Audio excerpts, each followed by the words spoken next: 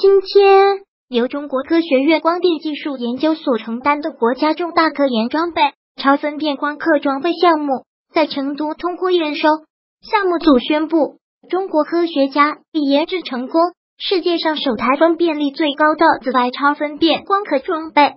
据介绍，中科院光电所超分辨光刻装备项目组经过近七年艰苦攻关，突破了多项关键技术。完成国际上首台分辨率最高的紫外超分辨光刻装备研制，其采用三百六十五纳米波长光源，单次曝光最高线宽分辨率达到二十二纳米。科研人员展示加工的功能器件。长期以来，中国的光刻技术落后于先进国家，成为中国工业现代化进程的一块短板。二零零六年。科技部提出了光刻技术的中长期规划，希望中科院的国家重点实验室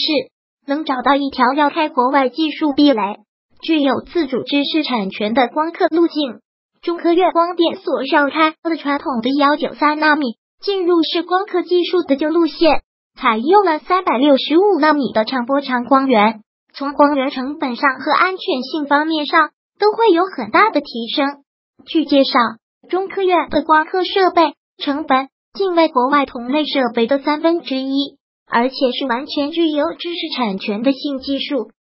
光刻机是制造电脑 CPU 的机器，处于半导体制造的金字塔顶尖，这也是中国和外国差距最大的地方。由于光刻机的制造需要巨量的资金和高度人才，同时需要多学科协同，从事光刻机研发的企业也越来越少。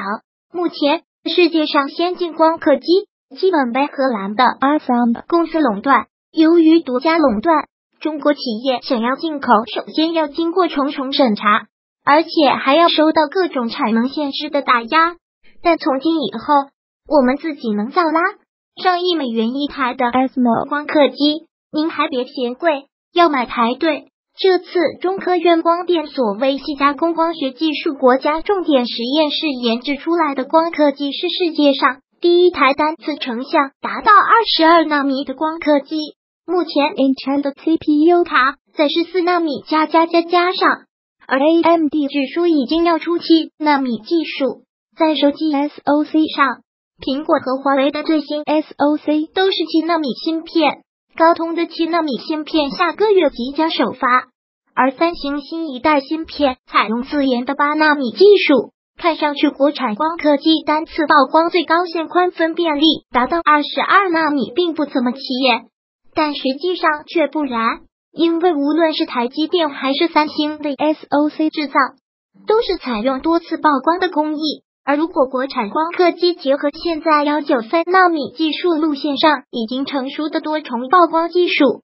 自然可以用于制备十纳米以下的信息器件。而在报道中，科研人员也证实了这点。采用三百六十五纳米技术的国产光刻机，总之，国产光刻机的出现会极大提升中国的芯片加工水平。有人估算。每年至少为中国节省三千亿美元外汇。